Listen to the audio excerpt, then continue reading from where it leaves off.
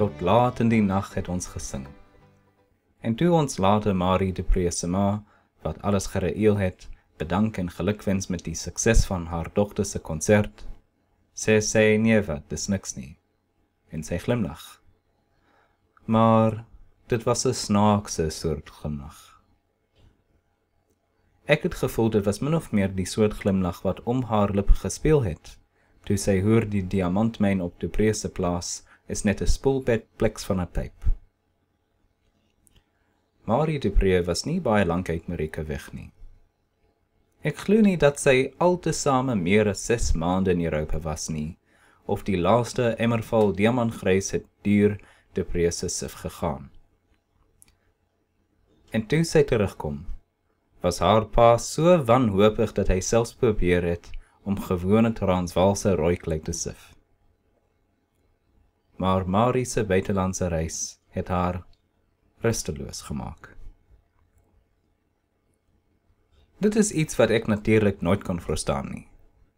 Ek was ook in buitelandse plekke gewees. Ek was 'n krygsgevangene op St. Helena gedurende die Engelse oorlog. En tweemaal was ek in Johannesburg. Op St. Helena was ge uitlanders nie. Net boere en Engelse en kleelinge en Indiërs, soos wat jy hier in Amerika ook sien. Daar was geen van die allerhande soort wat jy op die sypaaie in Johannesburg raakloop nie. En elke slag as ek op my plaas terugkom en op my stoep sit met 'n pyp vol regte Magaliesberg tabak, was ek bly om te besef dat ek ver weg was van al die sonde waarvan jy in die Bybel lees. Maar met Marie was dit anderste.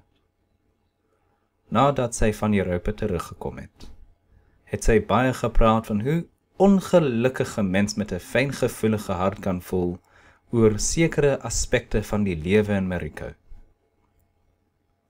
Ons was bereid om met haar saam te stem.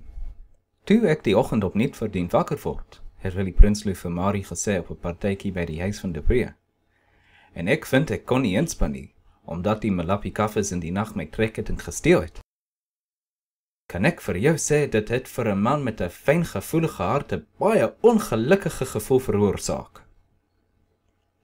Marie het gesê dit is juist die soort ding wat haar amper siek maak.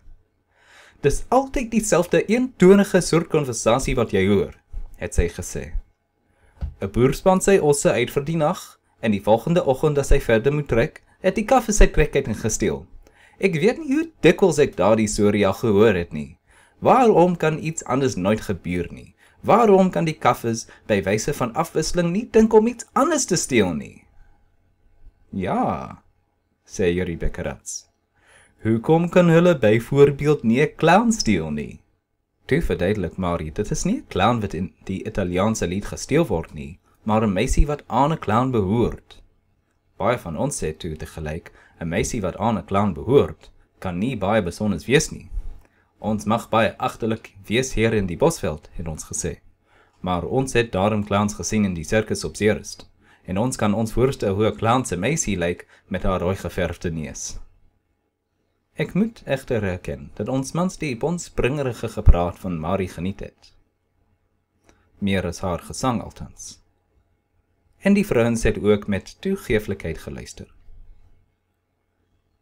Een opmerking van Marie het my egte enigsins gene. Die mense hier in Mariko sê altyd dieselfde ding 100 maal, sê sy. Niemand sê ooit iets nuuts nie. Julle praat almal soos die mense in Oomskalk Lawrence se stories. As ons kyk gaste het, is dit altyd dieselfde ding. As dit oor 'n man en sy vrou gaan, is dit altyd die man wat eers praat. En dan sê hy sy beeste lê aan hardwater. Selfs as hy die beeste met die eerste ryp die veld in ja en hulle gereeld elke 7 dae dip, kan hy nie die hardwaterlyse verdryf nie. Marius toe 'n oomblik stil en ons swyg ook.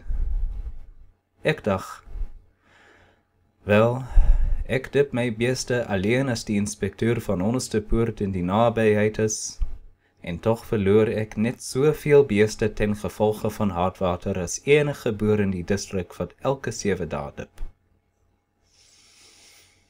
Hulle behoort die inspekteur van ons te poort elke 7 dae te dip. Val Jori Bekke uit.